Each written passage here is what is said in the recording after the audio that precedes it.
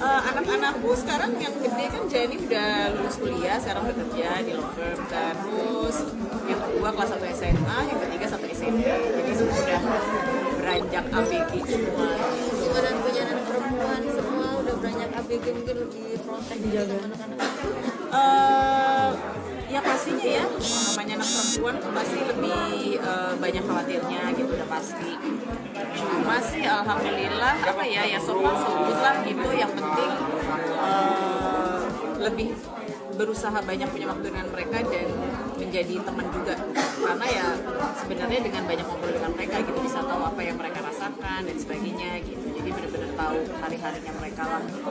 Ya, tapi anak sekarang juga mau terlalu diprotek juga ya kita harus pintar tarik ulur lah gitu. Yang penting menanamkan nilai-nilainya aja gitu dari kecil batasan-batasannya gitu. Kemudian juga eh, menempatkan di lingkungan yang eh, tepat gitu ya. Sehingga eh, pada akhirnya mereka udah punya apa ya kayak prinsip-prinsip dan nilai-nilai yang kuat lah gitu. Yang mudah-mudahan kita kan nggak tahu juga ke depannya seperti apa tapi saya berharapnya mereka bisa bisa apa ya tahu menempatkan diri lah Eh, ya adaptasi.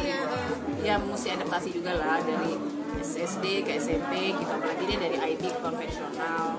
Eh, ya masa-masa SMP ini kalau pengalaman saya masa-masa yang cukup eh, rumit gitu ya challenging buat sebagai orang tua gitu. Tapi karena sudah ngalamin anak pertama anak kedua jadi kayak udah udah tau lah fase-fasenya habis ini begini begini begini begini gitu. ya karena anak sih jadi banyak ngobrol sih sama aku gitu ya. Jadi kayaknya ya step step stepnya tuh semua saya paham gitu anak tuh seperti apa gitu.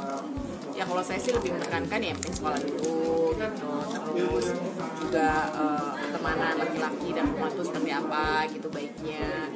Ya kalau suka-sukaan sih ya manusiawi dan natural aja lah gitu. Cuma ya yang penting sekarang fokus sama sekolah aja lah berteman dengan siapa aja gitu. Tapi mereka terbuka ya, nggak yang canggung gitu. enggak enggak enggak. Terbuka banget gitu kalau saya